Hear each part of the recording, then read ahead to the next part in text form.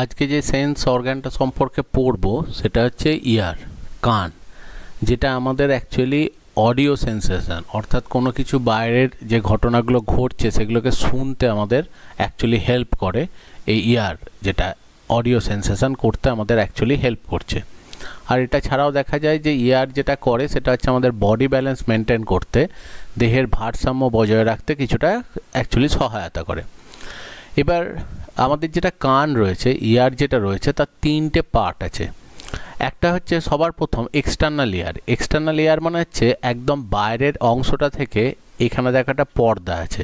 এই পর্দাটা অবধি অংশটাকে বলা হয় যেটা, সেটা হচ্ছে এক্সটার্নাল ইয়ার মিডিল ইয়ার বলতে বোঝানো হয় এই পর্দার পরের থেকে শুরু করে এই এই মাঝের অংশটা অবধি। এই জায়গাটা হচ্ছে মিডিল ইয়ার আর এরপরে এই যে দেখো পেঁচানো মতো একটা অংশ রয়েছে যেটা নাম দিয়েছে দেখো ককলিয়া, এই জায়গাটা যেটা, সেটা হচ্ছে অ্যাকচুয়ালি ইন্টারনাল লেয়ার এবার এখানের এক একটা অংশকে আমরা পড়ি। সবার প্রথম যেটা রয়েছে অ্যাকচুয়ালি কানের ক্ষেত্রে, কানের বাইরের একটা পোর্শন রয়েছে, যেটাকে অ্যাকচুয়ালি বলা হয় দেখবে পিনা। এই পিনা যে পোর্শনটা এইটা অ্যাকচুয়ালি বাইরে থেকে যখনই কোনো শব্দ আসে, দেখবে পিনাটা অ্যাকচুয়ালি কাটিলেজ দিয়ে সাপোর্ট দেওয়া থাকে। তরুণাস্তি দিয়ে দেখবে সাপোর্ট দেওয়া আছে। এবার এই শব্দটা এই কাটিলেজের মধ্যে ধাক্কা খেয়ে অ্যাকচুয়ালি কানের ভেতরেতে ঢুকছে। এবার কানের ভেতরেতে একটা ইয়ার ক্যানেল রয়েছে। তাহলে একদম বাইরেতে যেটা রয়েছে, দেখো, সেটা হচ্ছে পিনা। এই পিনার পরেই যেটা রয়েছে, একটা টিউবের মতো স্ট্রাকচার দিয়ে শব্দটা ঢুকে যাচ্ছে, যেটাকে অ্যাকচুয়ালি বলা হচ্ছে ইয়ার ক্যানেল এবং ইয়ার ক্যানেলটা ভেতরেতে গিয়ে দেখো একটা পাতলা মেমব্রেন আছে, যে মেমব্রেনটাকে অ্যাকচুয়ালি বলা হচ্ছে যেটা, সেটা হচ্ছে টিম্প্যানিক মেমব্রেন বা টিম্প্যানিক পর্দা সেটা। এবার যখনই কোনো একটা শব্দ বাইরে থেকে আমরা শুনি, সেই শব্দটা হচ্ছে যেটা, সেটা একটা ভাইব্রেশন যেমন দেখবে কোনো জায়গাতে যখনই খুব জোরে কোনো লাউড স্পিকার বাজে, দেখবে যে অ্যাকচুয়ালি বক্স যেগুলোর মধ্যেতে বাজছে, দেখবে সেইটা কিন্তু কাঁপে ভাইব্রেট করে। তো ঠিক সেরকমই একটা ভাইব্রেশন বাতাসের মাধ্যমে শব্দ যেটা হয়, সেই শব্দটা আসে, যেটা সাউন্ড ওয়েভ বা শব্দ তরঙ্গ বলা হয়। এবং সেই শব্দটা এরকম কানেতে প্রবেশ করে, সেটা টিম্প্যানিক মেমব্রেন যেটা হয়, সেই টিম্প্যানিক মেমব্রেনটাতে ধাক্কা দেয়, যার জন্য এখানে একটা ভাইব্রেশন অ্যাকচুয়ালি ফিল হয়। এবার এই ভাইব্রেশনটাই কিন্তু অ্যাকচুয়ালি বলা হয় যে শব্দ যেটা আমরা শুনি, তার একটা কারণ, তার একটা অন্যতম কারণ। তো যদি কোনো সময় দেখা যায় যে এমন একটা জায়গায় যাওয়া হয় যেখানে চারপাশে কোনো অ্যাকচুয়ালি সেই জায়গাতে এয়ার নেই, বাতাস নেই, তাহলে কিন্তু সাউন্ড আমরা কিছু শুনতে পাবো না। এইটা হচ্ছে ব্যাপার। তাহলে অ্যাকচুয়ালি দেখো, এখান থেকে ইয়ারটা যেটা, সেটা এলো কোথায়? সেটা হচ্ছে এই টিম্প্যানিক মেমব্রেনে এসে ধাক্কা মারছে। তাহলে এই বাইরের পিনা ইয়ার ক্যানেল এবং টিম্প্যানিক মেমব্রেন এই তিনটে যেটা রয়েছে, সেটা হচ্ছে এক্সটার্নাল ইয়ারের অ্যাকচুয়ালি পার্ট এক্সটার্নাল ইয়ারের জাস্ট কাজ হচ্ছে বাইরে থেকে সাউন্ড ওয়েভটাকে কানের ভেতরেতে নিয়ে যাওয়া। এবার যখনই টিম্প্যানিক মেমব্রেনটা ভাইব্রেট করছে ভাইব্রেট করার সাথে সাথেই দেখা যায় তিনটে ছোট ছোট হাড় অ্যাকচুয়ালি কানের এখানেতে থাকে। যে তিনটে হাড় যেটা রয়েছে ফার্স্ট মেলিয়াস তারপর ইনকাস তারপর হচ্ছে স্টেপিস স্টেপিস বা স্টিরাপ বলে অনেক সময়। তো মেলিয়াস ইনকাস স্টেপিস তিনটে হাড় এখানেতে, পরপর এখানেতে রয়েছে। এবার যখনই এই টিম্প্যানিক মেমব্রেনটা এখানে ভাইব্রেট করে, এই তিনটে হাড়ের থ্রু দিয়ে অ্যাকচুয়ালি সাউন্ড ওয়েভ যেটা, শব্দ যে তরঙ্গ যেটা রয়েছে সাউন্ড ওয়েভ যেটা, সেটা গিয়ে পৌঁছায় যেটা, সেটা হচ্ছে অ্যাকচুয়ালি কানের এখানেতে, ভেতরেতে। এবার দেখো, যখনই এই পর্দাটা কাঁপে, তাহলে স্বাভাবিকভাবেই তার সাথে মেলিয়াস যেটা হার্ট সেটাও ভাইব্রেট করে। আবার ইনকাস যেটা, সেটাও ভাইব্রেট করে। আর স্টেপিস যেটা, সেটাও ভাইব্রেট করে। তো এই তিনটে হাড় অ্যাকচুয়ালি আমাদের দেহের সবথেকে ছোট হাড়ের মধ্যে কাউন্ট করা হয়। তো সবথেকে দেহের ছোট হাড় যেটা, সেটা হচ্ছে স্টেপিস, বা যেটাকে অ্যাকচুয়ালি বলা হয় স্টিরাপ যেহেতু এটা দেখবে ঘোড়ায় ওঠার সময়, সেখানে সাইডে, ঘোড়ার দেখবে সাইডের দিকে একটা পা রাখার মতো একটা জায়গা থাকে। যার উপরে পা দিয়ে দেখবে যারা ঘোড়ায় চড়ে আর কি, তারা ঘোড়ার পিঠে চাপে। তো ঠিক ওই রকম দেখতে বলে এটাকে অ্যাকচুয়ালি বলা হয় যেটা, সেটা হচ্ছে স্টিরাপ। এইটাকে বলা হয় হ্যামার। এইটার আর এক নাম হচ্ছে অ্যানভিল। হ্যামার যেটা হয়, হ্যামার হচ্ছে হাতুড়ির মতো দেখতে বলে হ্যামার বলে। অ্যানভিল যেটা যেটা দেখবে জুতো সারানোর সময় জুতোটা একটা লোহার জিনিসের ওপরে রেখে অ্যাকচুয়ালি দেখবে তারা যারা জুতো রিপেয়ার করে তারা দেখবে ওই লোহার জিনিসটার ওপরে জুতোটাকে রেখে দেখবে সেখানে সারায় তো ওই স্ট্রাকচারটাকে অ্যাকচুয়ালি বলে অ্যানভিল তার মতো দেখতে বলে এই ইনকাস যেটা সেটাকে বলা হয় অ্যানভিল আর অ্যাকচুয়ালি স্টেপিস যেটা রয়েছে সেটাই হচ্ছে স্টিরাপ বলা হয়, যেটা ঘোড়ার পাশেতে থাকে আর কি, ঝোলে ওর বসার জায়গা থেকে, সেখানের পা দিয়ে দেখবে সবাই ওপরেতে ওঠে। তো এই তিনটে জিনিস নিয়েই তৈরি হচ্ছে যেটা, সেটা হচ্ছে মিডিল এয়ার এবার মিডিল এয়ারেতে দেখা যায় একটা সরু ক্যানেল আছে, যে ক্যানেলটা ঠিক আমাদের বাক্কাল ক্যাভিটি মুখবিবর যেটাকে বলে, তার ঠিক পাশেতে, যেটা দুটো জয়ের ঠিক জাংশন দুটো চোয়ালের ঠিক মাঝখানের জায়গাতে, এই ক্যানেলটা অ্যাকচুয়ালি এখানে ওপেন হয়। এর কাজ হচ্ছে যখনই আমরা কথা বলছি বা আমরা হাঁ করছি, তো কিছু ইয়ার অ্যাকচুয়ালি মুখের ভেতর দিয়ে ঢুকে সেটা গিয়ে ঠিক এই দিকটাতে এসে জমে। এবং এটার কাজ একটাই যাতে দুদিকেই এয়ার প্রেশারটা সমান থাকে, যাতে এই টিম্প্যানিক মেমব্রেন যেটা, সেই টিম্প্যানিক মেমব্রেনটা অ্যাকচুয়ালি স্ট্রেট থাকে। কারণ টিম্প্যানিক মেমব্রেনটা স্ট্রেট থাকলে তবেই কিন্তু ভাইব্রেশানেরটা খুব ভালোভাবে ফিল করতে পারবে।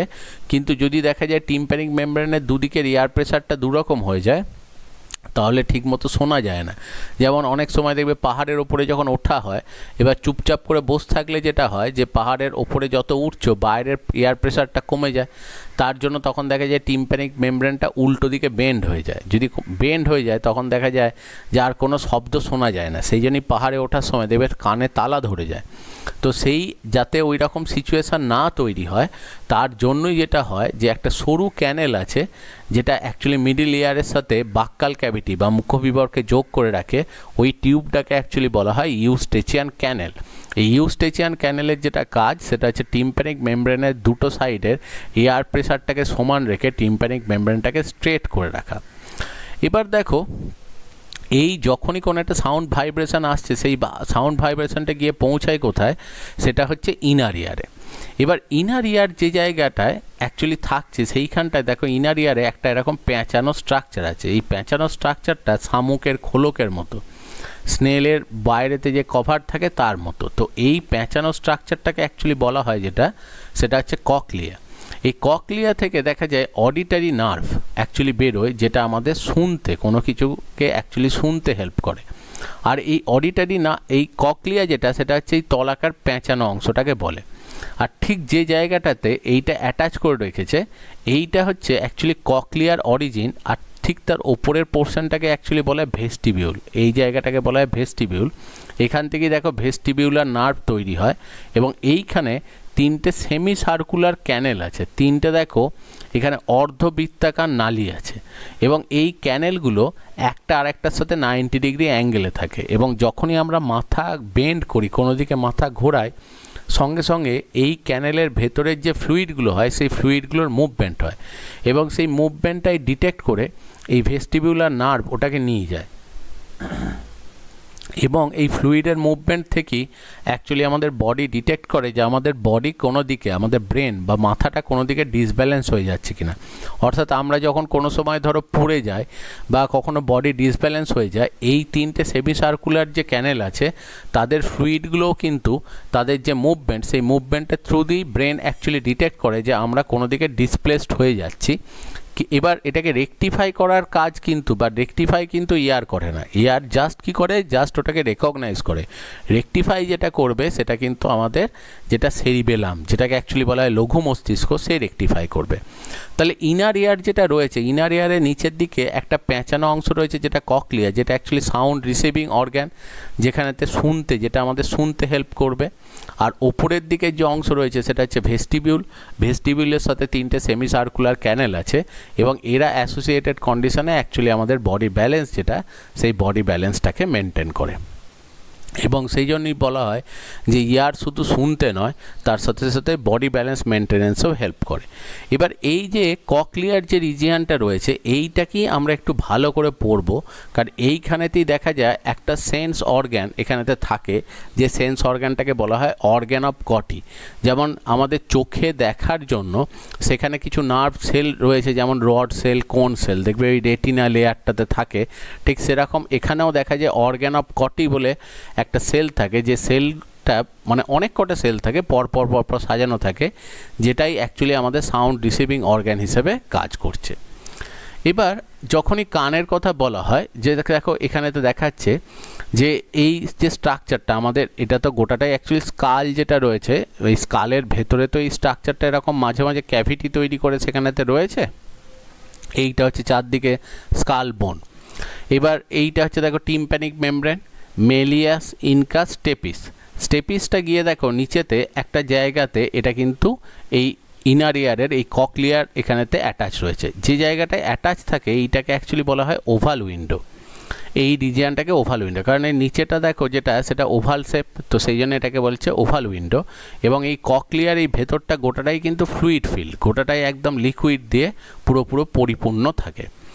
এবার এখানকার মধ্যে এইটা হচ্ছে দেখো ভেস্টিবিউলার রিজিয়ান আর এইটা হচ্ছে অ্যাকচুয়ালি তিনটে ওই সেমি সার্কুলার ক্যানেলগুলো এবার যখনই দেখো এই টিম্প্যানিক মেমব্রেনটা ভাইব্রেট করে, সঙ্গে সঙ্গে মেলিয়াসও ভাইব্রেট করবে, ইনকাসও ভাইব্রেট করবে স্টেপিসও ভাইব্রেট করবে এবং স্টেপিস গিয়ে ধাক্কা মারবে কোথায়?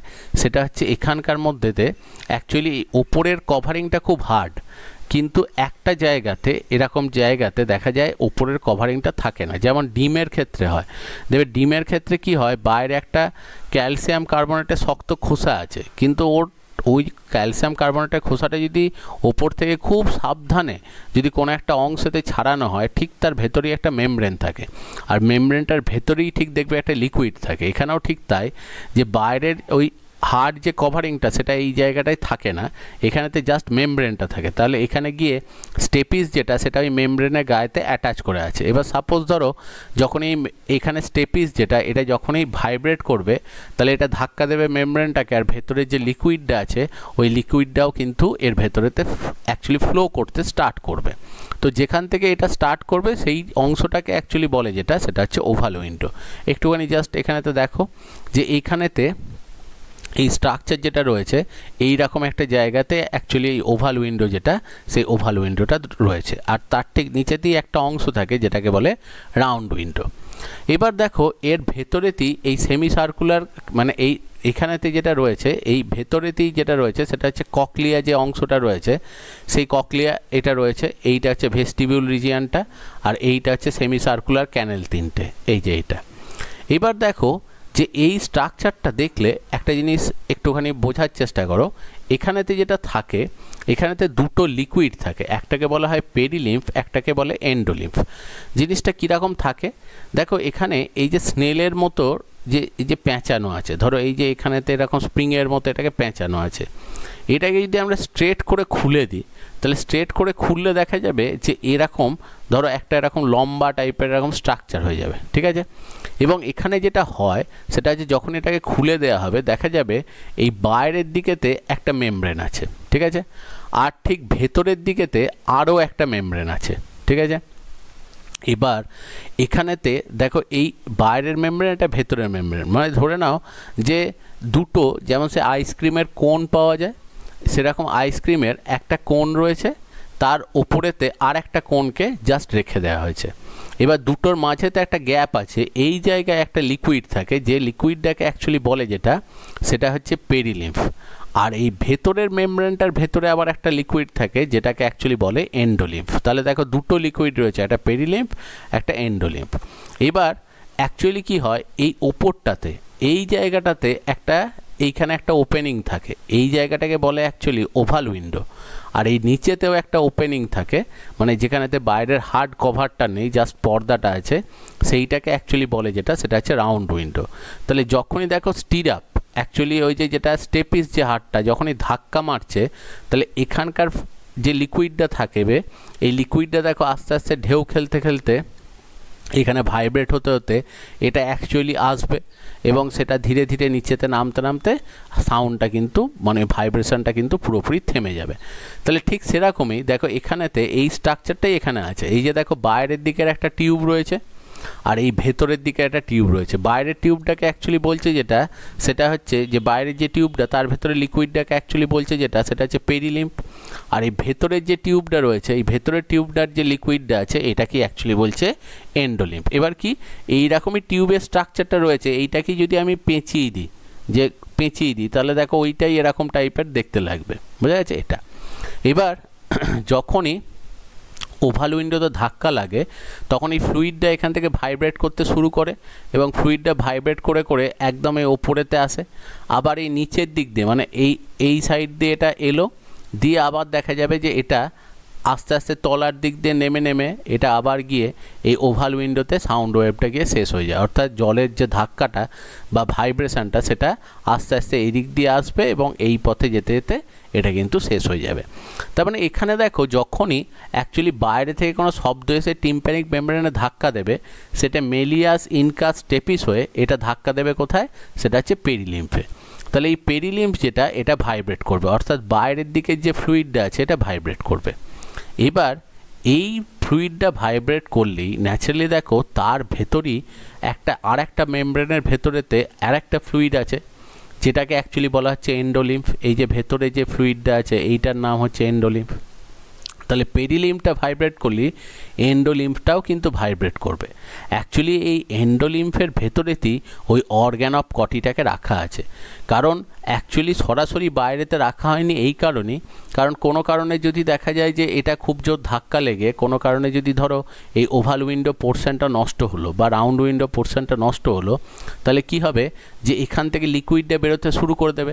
এবার যদি নার্ভ সেলগুলোকে একদম বাইরেতে রেখে দেয়, তাহলে কিন্তু ওরা ডিহাইড্রেট হয়ে খুব তাড়াতাড়ি মরে যাবে। কিন্তু সেই জন্য ওদেরকে রাখা রয়েছে দেখো ভেতরে। যাতে বাইরের অংশটা যদি কোনোভাবে নষ্টও হয়, তাহলে ওটা তো কিছুক্ষণের মধ্যেই রিপেয়ার হয়ে বা ঠিক হয়ে যাবে। কিন্তু এই ভেতরের ফ্লুইডটা সবসময় থেকে যাওয়ার জন্য এর ভেতরেতে সেন্স অর্গানগুলো থাকলে সেগুলো কিন্তু আর নষ্ট হবে না। তো সেই জন্যই দেখা যায় এখানে দুটো ফ্লুইড রাখা থাকে। বাইরের যেটা, সেটা হচ্ছে পেরিলিম্ফ আর ভেতরে যেটা, সেটা এন্ডোলিম্ফ এবং এন্ডোলিম্ফের মধ্যেতে অ্যাকচুয়ালি ওখানেতে ওই অর্গ্যান অফ কটি যেগুলো, সেই অর্গ্যান অফ কটিগুলো দেখা যায় এন্ডোলিম্পের এরকম নিচের দিকেতে পর পর পর পর সাজানো থাকে। এবার যদি অ্যাকচুয়ালি এই ক্যানেল যেটা রয়েছে, এটাকে যদি আমি ক্রস সেকশান করি, তাহলে কিন্তু তিনটে কম্পার্টমেন্ট পাওয়া যায়। একটা ওপরের দিকে, একটা মাঝের দিকে, একটা নিচের দিকে। এই ওপরের কম্পার্টমেন্টটাও কিন্তু পেরিলিম্পস দিয়ে ফিল নিচের কম্পার্টমেন্টটাও পেরিলিম্ফ দিয়ে ফিল খালি মাঝের কম্পার্টমেন্টটা এন্ডোলিম্ফ দিয়ে ফিল থাকবে, আর মাঝের কম্পার্টমেন্টেরই নিচের দিকেতে যেটা থাকবে, সেটা হচ্ছে অর্গ্যান অফ কটি এবার এইটারই আমরা ক্রস সেকশন করে দেখব যে কীভাবে অ্যাকচুয়ালি এটা কাজ করে। তবে একটা জিনিস বলি, যখনই ভাইব্রেট করে, ধরো হালকা যে আওয়াজগুলো হয়, হালকা আওয়াজগুলো অ্যাকচুয়ালি দেখো ঢেউ যেটা তৈরি হবে, সেটা অল্প জায়গার মধ্যে সেটা সীমাবদ্ধ থাকবে। সেই জন্য এই অঞ্চলের অ্যাকচুয়ালি অর্গ্যান অফ কটি সেই জিনিস, সেই শব্দগুলোকে সেন্স করে। কিন্তু যখন আওয়াজটা খুব জোর হবে, তাহলে জলের ধাক্কাটাও খুব বেশি হবে। তাহলে সেই ধাক্কাটা হওয়ার জন্য অ্যাকচুয়ালি দেখো জলের মতো করে ওই ফ্লুইডটার যে ঢেউটা তৈরি হবে বা যে ওয়েভটা তৈরি হবে, সেটা পেঁচাতে পেঁচাতে কিন্তু একদম ওপর অবধি আসবে এবং এখানকার অর্গ্যান অফ কটিগুলো কিন্তু কাজ করবে এবং সেটাই বলা হয় যে আমাদের যে সোনার যে ক্ষমতা কুড়ি থেকে কুড়ি হাজার হার্জ তো কুড়ি হার্জ যেটা, সেটা শুনিয়ে একদম এই নিচের অর্গ্যান অফ কটিগুলো দিয়ে। যত অ্যাকচুয়ালি সাউন্ড অ্যাকচুয়ালি তার ভাইব্রেশনটা বাড়তে থাকবে, তত দেখা যাবে এটা ওপরের দিকের অর্গ্যান অফ কটিগুলোকে সেন্স করছে এবং হায়েস্ট রিসিভ যেটা আমরা করি সাউন্ড রিসিভ সেটা হচ্ছে টোয়েন্টি থাউজেন্ড হার্ট যেটা, সেটা হচ্ছে একদম এই ওপরকার অর্গ্যান অফ কটিগুলো দিয়ে। কারণ অ্যাকচুয়ালি কি এরপর এবং ওইটাই হচ্ছে লিমিট যে তারপর যেহেতু আর আমাদের ফ্লুইডটার এক্সটেনশান নেই, তাহলে তার থেকে বেশি জোর শব্দ আর কিন্তু আমরা শুনতে পাই না। তো অর্গ্যান অফ কটিগুলো সেই জন্য আমাদের এমনভাবেই সাজানো থাকে, যাতে কুড়ি থেকে কুড়ি হাজার হার্জ অবধি শুনতে পায় এবং যেরকম অনুযায়ী জোর শব্দ হবে, তত বেশি জোর অ্যাকচুয়ালি দেখো ভাইব্রেশনটা তৈরি হবে। তাহলে ঢেউটা, জলের মধ্যে যে অ্যাকচুয়ালি যে ঠেলার যে ঢেউটা বা ওয়েভটা সেটা তত বেশি দূর অবধি অ্যাকচুয়ালি এখানেতে এক্সটেন্ড হবে। এইটা হচ্ছে ব্যাপার। এবার অর্গ্যান অফ কটির দেখো এই যে একটু আগে পড়লাম যে যখনই আমরা ওই অংশটাকে যে অ্যাকচুয়ালি ককলিয়ার যে রিজিয়ানটা রয়েছে, একটু আগে এই যে দেখলাম, দেখো, এটাকে ক্রস সেকশান করলে তিনটে কম্পার্টমেন্ট পাওয়া যাবে। তো এখানেতে ওই রকম ক্রস সেকশানেতে দেখানো হয়েছে, দেখো, তিনটে কম্পার্টমেন্ট ওপরের যে কম্পার্টমেন্টটাকে এটাকে অ্যাকচুয়ালি বলা হয় স্কেলা ভেস্টিবিউলি মাঝেরটাকে বলা হয় স্কেলা মিডিয়া আর নিচেরটাকে বলা হয় স্কেলা টিম্প্যানি এবার এই ওপরেরটাতেও রয়েছে পেরিলিম্ফ এটাতেও পেরিলিম্ফ শুধু মাঝখানটাতে রয়েছে এন্ডোলিম্ফ এবং এর ঠিক একদম বেসেতে দেখো, এই বেসেতে এই যে সেলগুলো সাজানো আছে, এই সেলগুলোই হচ্ছে অর্গ্যান অফ কটি। এবার যখনই সাউন্ডটা দেখো, এই স্ক্যালা ভেস্টিবিউলি দিয়ে যায়, তখনই কি করবে, ওটা অ্যাকচুয়ালি এই যে পর্দাটা যেটা রয়েছে, যেটাকে অ্যাকচুয়ালি বলা হচ্ছে রেজনার্স মেমব্রেন, এইটা। এই রেজনার্স মেমব্রেনটাকে ভাইব্রেট করে। ভাইব্রেট করলি, দেখো, এই এন্ডোলিম্ফ যেটা রয়েছে, এটাও ভাইব্রেট করবে। ভাইব্রেট করলি এন্ডোলিম্ফের ভেতরে দেখো একটা পর্দা আছে, যেটার নাম হচ্ছে টেকটোরিয়াল মেমব্রেন। এই টেকটোরিয়াল মেমব্রেনটাও ভাইব্রেট করে। আর এইটাই গিয়ে দেখো, এই অর্গ্যান অফ কটি যেগুলো রয়েছে, সেন্স অর্গ্যান অর্গ্যান অফ কটির ওপরেতে কিছু দেখো সিলিয়া আছে, কিছু হেয়ার লাইক প্রজেকশান আছে।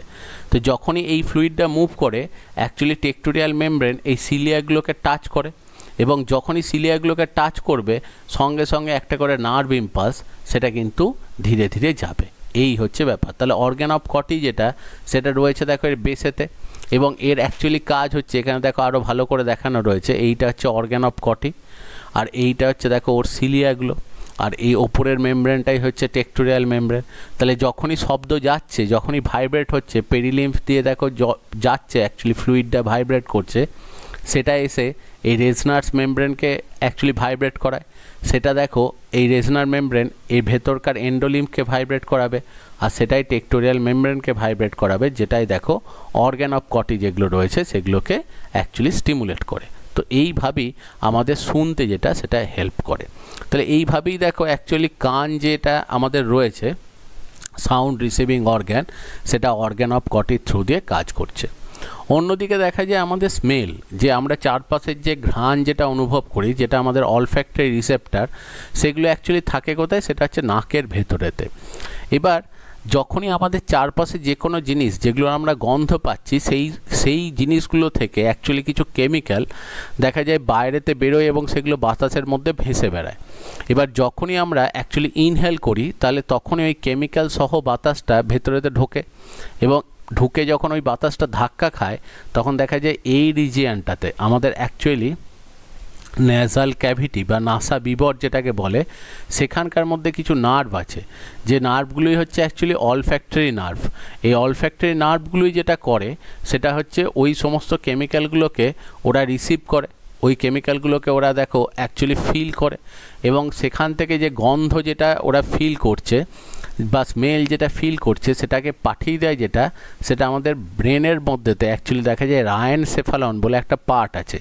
যে ব্রেনের যেটা মেজর পার্ট যেটা টেলেন সেফালন সেই টেলেন সেফালনের একটা পার্ট রয়েছে, যেটা হচ্ছে রায়ন সেফালন যেটাকে বাংলায় বলা হয় নাসা মস্তিষ্ক। তার থ্রু দিয়ে অ্যাকচুয়ালি যে কোনো জিনিসের যে, যেটা সেন্স যেটা গন্ধ যেটা, সেটা আমরা ফিল করি। এবং তার সাথে সাথে দেখো, এটা সেরিব্রামের সাথে অ্যাসোসিয়েটেড গুরু মস্তিষ্কের সাথে অ্যাসোসিয়েটেড অর্থাৎ যখনই গন্ধটা পায়, সঙ্গে সঙ্গে সেরিব্রামের মধ্যেতে মেমোরি থাকে মানে অ্যাকচুয়ালি সেরিব্রামের থ্রু দিয়ে বা গুরু মস্তিষ্কের থ্রু দিয়ে আমরা কোনো কিছু স্মৃতিচারণ করি, কোনো কিছু মেমোরাইজ করি। তো ন্যাচারালি যখনই গন্ধটা পাই সঙ্গে সঙ্গে আমরা ফিল করতে পারি যে ওই গন্ধটা কি, ওটা ভালো না খারাপ, কি গন্ধ, সেটা বুঝতে পারো এবং কোন জিনিসের গন্ধ, ওটা কি কোনো অ্যাকচুয়ালি সেন্টের গন্ধ না কোনো খাবারের গন্ধ, তো পার্টিকুলারলি কোন টাইপের খাবার বা কি খাবার সেটা সম্পর্কে আমরা সেন্স করতে পারি। অন্যদিকে দেখো সেকেন্ড যেটা রয়েছে, সেটা হচ্ছে গাস্টেটারি রিসেপ্টার যেটা আমাদের জিভের মধ্যেতে থাকে। এবার এই জিভের মধ্যেতে যেটা থাকে, সেগুলো হচ্ছে অ্যাকচুয়ালি টেস্ট বার্ড এবার এটা যে শুধুমাত্র জিভের মধ্যে থাকে তা নয়, জিভেতেও থাকে সফট প্যালেট মানে হচ্ছে অ্যাকচুয়ালি তালুর পেছনের দিকটা মানে জিভের পেছন মানে আমাদের মুখের ওপরের দিকে যে পোর্শনটা রয়েছে দাঁতের একটু ভেতরের দিকে একটা দেখো সামনের পোর্শনটা হচ্ছে হার্ড প্যালেট বলে। সামনের অংশটা দাঁতের ঠিক সামনের মানে পরেই অংশটা যেটা রয়েছে সেটা একটু শক্ত। কিন্তু তার ভেতরের অংশটা নরম, ওটাকে বলা হয় সফট প্যালেট এবং ফ্যারিংস বলতে বোঝানো হয় যেটা গলবিল গলার কাছের যে অংশটা রয়েছে সেটা। সেই জায়গাগুলোতেও কিছু টেস্ট বার থাকে, কিন্তু সেগুলো কম্পারেটিভলি কম থাকে। মেনলি টেস্ট বার্ড যেগুলো থাকে, সেগুলো হচ্ছে আমাদের জিভের মধ্যেতে টেস্ট বার্ডগুলো থাকে। এবং টেস্ট বার্ডেতে যেটা হয় অ্যাকচুয়ালি জিভ যেটা জিভের ওপরটা স্মুথ নয়। তো যদি জিভকে একটু বড় করে দেখা হয় তাহলে দেখা যায় যে জিভের সাইডেতে মানে জিভের ওপরেতে অ্যাকচুয়ালি কী রয়েছে, এরকম খাঁজের মতো কিছু স্ট্রাকচার থাকে মানে জিভটা স্মুথ নয়। এবং এই খাঁজের ভেতরেতে অসংখ্য এরকম দেখা যে ব্লু কালারের দেখানো রয়েছে, এইগুলো হচ্ছে টেস্ট বার্ড কারণ জিভের সরাসরি ওপরে টেস্ট বার্ড থাকলে গরম ঠান্ডা জিনিস পড়লে টেস্ট বার্ডগুলো নষ্ট হবে। তো সেই জন্য জিভের ওপরে সরাসরি টেস্ট বার থাকে না। জিভের ওপরের থেকে মানে জিভের ওপরটা স্মুথ নয়, সেটা মাঝে মাঝে কোনো কোনো জায়গায় ভেতরের দিকে এরকম ভাঁজ খেয়ে ঢুকে গেছে। যে জায়গাগুলো ভেতরের দিকে ভাঁজ খেয়ে ঢুকে গেছে, সেইখানেতেই অ্যাকচুয়ালি ওই সমস্ত সেন্স অর্গ্যান যেগুলো গাস্টেটারি রিসেপ্টার যেগুলো, সেগুলো রয়েছে এবং সেগুলো স্বাদ অনুভব করতে সাহায্য করে। এবং জিভের মধ্যে এক একটা পোর্শনে এক এক ধরনের গাস্টেটারি রিসেপ্টার থাকে। যেমন জিভের সামনেটা মিষ্টি স্বাদ অনুভব করে তারপরের যেটা থাকছে ধরো, এখানে যেটা, সেটা হচ্ছে টক স্বাদ অনুভব করে, এটা নোনতা স্বাদ অনুভব করে তেঁতো স্বাদটা হচ্ছে একদম পেছনের দিকে। আর মাঝের যে অংশটা থাকে, এটা অ্যাকচুয়ালি কোনো রকম স্বাদ গ্রহণ করে না। মানে এই জায়গায় মেনলি হিট অ্যান্ড কোল্ড রিসেপ্টারগুলো থাকে, যেটা দিয়ে খাবার গরম ঠান্ডা বুঝি আমরা। কিন্তু আর একটা স্বাদের কথা এখন বলা হয়, সেটা হচ্ছে উমামি। উমামি মানে হচ্ছে অ্যাকচুয়ালি টেস্টলেস মানে এটা শব্দটা শুনেই বুঝতে পারছ, এটা একটা চাইনিজ শব্দ। এবং অ্যাকচুয়ালি নুডল যখন সেদ্ধ করা হয় জলে, দিয়ে যদি ওটাকে খাও, দেখবে ওটার মধ্যে কোনো স্বাদই নেই, টক, ঝাল, মিষ্টি কোনো স্বাদ নেই। ওই টেস্টটাকে অ্যাকচুয়ালি বলা হয় যেটা, সেটা হচ্ছে উমামি টেস্ট তো সেই টেস্টটাকে মনে করা হয় ফিল করি আমরা এইটার মাধ্যমে। আর ঝাল যেটা রয়েছে, সেই ঝালটা কিন্তু অ্যাকচুয়ালি কোনো টেস্ট নয়। ওটা একটা সেন্সেশন দেখবে হাতেতে ঘষে দিলেও দেখবে জ্বালা করে। কোনো কাটা জায়গাতে দেখবে লঙ্কা যদি গুঁড়ো পড়ে, সেখানেও দেখবে জ্বালা করে, চোখেতেও জ্বালা করে। মানে ওটা অ্যাকচুয়ালি কী করে? কিছু সেল নষ্ট হওয়ার জন্য ওটা একটা সেন্সেশন ঝাল কোনো টেস্ট নয়। ওটা জাস্ট একটা সেন্সেশন আর বাকিগুলো আমরা এখানে ফিল করছি। আর শেষ সেন্সে সেন্স অর্গ্যান যেটা রয়েছে, সেটা হচ্ছে আমাদের স্কিন যেটা আমাদের অ্যাকচুয়ালি কিউটেনিয়াস রিসেপ্টার আমাদের ত্বকের মধ্যেতে আমাদের স্কিন যেটা থাকে স্কিনের অ্যাকচুয়ালি বাইরের পোর্শনটাকে বলে এপিডার্মিস আর ভেতরের পোর্শনটাকে বলা হয় ডার্মিস অ্যাকচুয়ালি এপিডার্মিস যে লেয়ারটা সেই এপিডার্মিস লেয়ারটা ডেড সেলস দিয়ে তৈরি হয়, মৃত কোষ দিয়ে তৈরি হয়। আর নিচের যে লেয়ারটা রয়েছে, সেইটা অ্যাকচুয়ালি ডার্মিস সেইখানেতে প্রচুর নার্ভ এন্ডিং থাকে, প্রচুর স্নায়ুর শেষ প্রান্ত থাকে, যেগুলো দেখা যায় যে বিভিন্ন রকমের মানে সেন্স আমাদের ফিল করতে কাজ করে। যেমন দেখো এই যে পেন হিট কোল্ড রিসেপ্টার হিসেবে কিছু থাকে, কিছু ফ্রি নার্ভ এন্ডিং অন্যদিকে দেখা যায় মার্কেল ডিস্ক বলে কিছু নার্ভ থাকে, যেগুলো অ্যাকচুয়ালি টাচ সেন্সেশনের জন্য responsible Krause end bulb যেটা, সেটাও টাচ সেন্সেশন করে। রুট হেয়ার প্লেক্সাস সেটাও টাচ সেন্সেশন করে। এরকম বিভিন্ন জায়গাতে টাচ সেন্সেশন রয়েছে। মেজনার কর্পাসেল এটাও টাচ করে। অন্যদিকে দেখো প্যানিসিনিয়ার কর্পাসেল এটা অ্যাকচুয়ালি প্রেশার দেহের ওপরে কোনো চাপ অনুভব করে।